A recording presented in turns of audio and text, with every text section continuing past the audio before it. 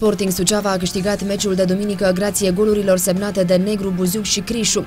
Fostul atacant al Rapidului a reușit hetricul, iar Buziuc și-a trecut numele pe lista marcatorilor în două rânduri. În urma acestui rezultat, alb-verzii au rezolvat în mare măsură problema calificării la barajul pentru promovare, un egal în ultimele trei etape fiindu-le suficient pentru a ieși campioni.